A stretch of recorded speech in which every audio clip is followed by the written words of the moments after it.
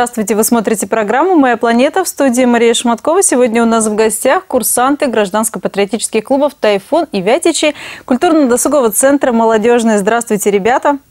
Здравствуйте. Здравствуйте. Рада видеть вас в нашей студии. Совсем недавно вы вернулись в город. Это лето было очень насыщенным для вас.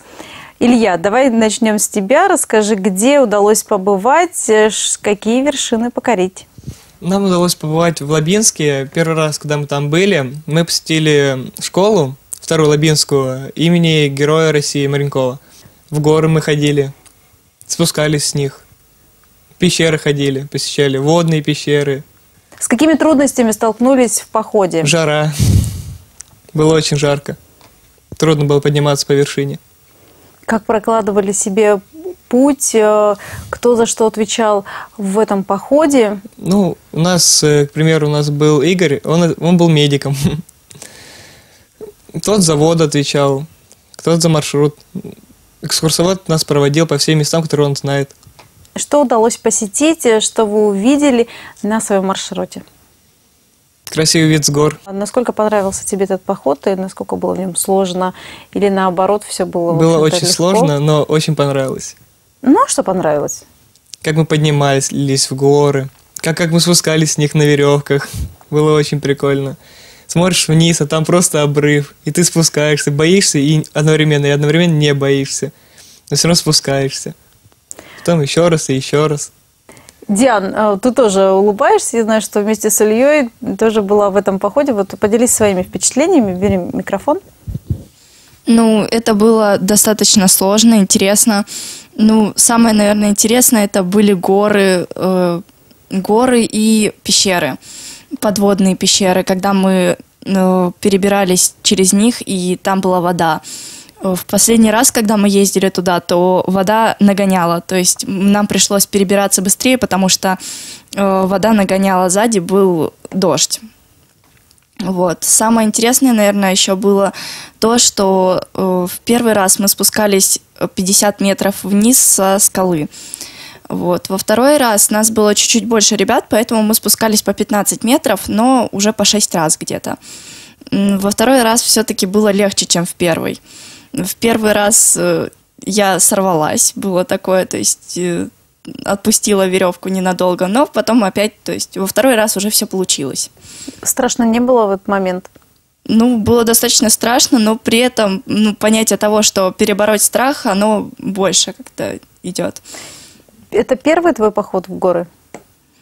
Ну, последний поход это был второй поход, потому что до этого мы еще раз ехали в Краснодарский край, и у нас был еще один поход.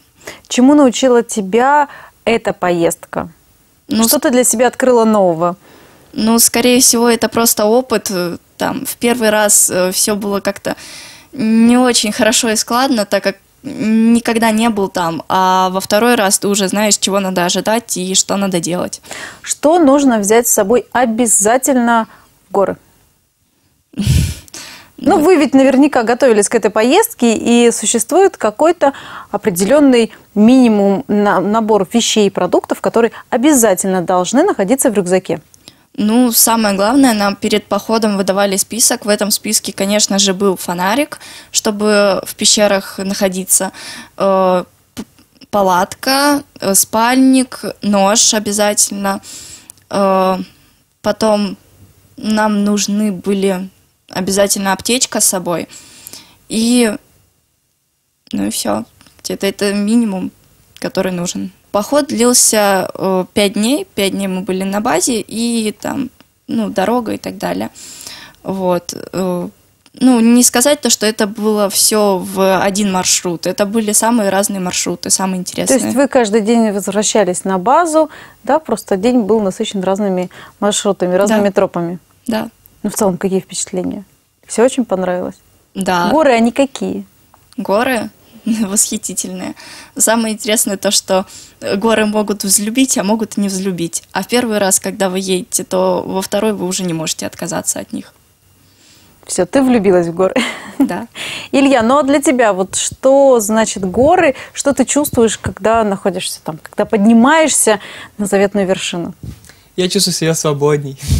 Я знаю, что я могу подняться. Я верю в свои силы всегда. Научились дружить в походе? А там без э, взаимовыручки никак. Это лето было у вас очень насыщенно. Диан, а где еще удалось побывать э, тебе вместе с твоими друзьями?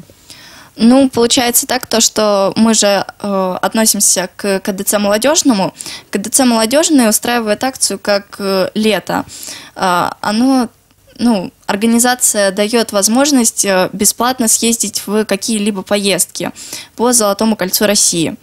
Ну, в это лето мы были в Торжке, Тула, Владимир. Мы побывали на трех ратных полях. Э, Бородинское поле, Куликовское поле и Прохоровское. Э, ну, в целом поездка была очень интересная. Мы были не только э, в, на полях, естественно, мы были в разных музеях. Вот. Ну, Какой город поразил больше всего и, конечно же, понравился, запомнился? Тула. Больше всего мне понравилось Пряниками Тула. или самоварами? Ну, на самом деле, ну, всем. А еще там был восхитительный музей оружия. Это был огромный музей оружия, и в конце нам дали возможность полчаса э, походить по нему, и там было три э, этажа с оружием. Ну, просто красиво. Но все-таки направленность вашего гражданско-патриотического клуба, она дает о себе знать. Вы умеете обращаться с оружием, часто держите его в руках, поэтому, наверное, и притягивают музей именно этой направленности. Ну да, это было интересно. Также, ну, скорее всего, было очень интересно посмотреть на самовары, самые разные. Ну, также в прошлом, ну, прошлое лето мы тоже были там же. И все-таки экскурсии отличаются. То есть в этом году экскурсии были гораздо интереснее. То есть каждое лето вы проводите вместе, э, все с клубом либо отправляетесь в горы, либо э, ездите по разным городам, разным музеям, да, знакомитесь с историей родной страны. Да. Какие планы на этот год? Ну, в этом году мы еще хотим э, в октябре съездить в горы, э, но это уже будет Кавказ. 8 сентября мы Э, поедем на конный двор. Э, ну, вообще очень много походов. То есть еще в январе будет поход, возможно. Диана, сколько лет ты уже занимаешься в клубе и как попала? Ну, полтора года я занимаюсь в клубе, а попала, ну вот изначально я просто знала об этом движении, ну и стало интересно, поэтому попросила одну девочку как бы меня туда, ну вот как-то съездить с ней куда-то. Вот, и мы поехали в Досав. Вот, там я прозанима... позанималась э, физо, там э, и стрельбы у нас были. Ну и я приглянулась нашему тренеру Татьяне, и ну она взяла меня ну, ты не боялась э, трудностей, не боялась того, что э, впереди были походы, ведь это, ну, не так просто. Одно дело мальчишки, а другое дело девчонка. Ну, э, это было наоборот интереснее, то есть как-то, ну вот, например, в школе ставили в пример то, что, ну вот даже мальчикам ставили в пример то, что вот девочка добилась, а вы как бы нет, вот. Ну, наоборот, горы, они как-то более хотелось поехать даже, возможно, более чем мальчиком каким-либо. Дим, ты совсем недавно вступил в ряды Вятичей. Расскажи, с чего началась твоя история? Ну, я с детства как бы хотел пойти вот по такому направлению, потому что прадедушка воевал, дедушка служил на флоте, и вот предоставилась такая возможность пойти вот сюда. Хочу, чтобы дедушка гордился, семья – и вот, надеюсь, уже будет скоро гордиться. Какие планы? Пойдешь ли ты в ближайший поход вместе с ребятами? Да, с радостью пойду, жду с нетерпением.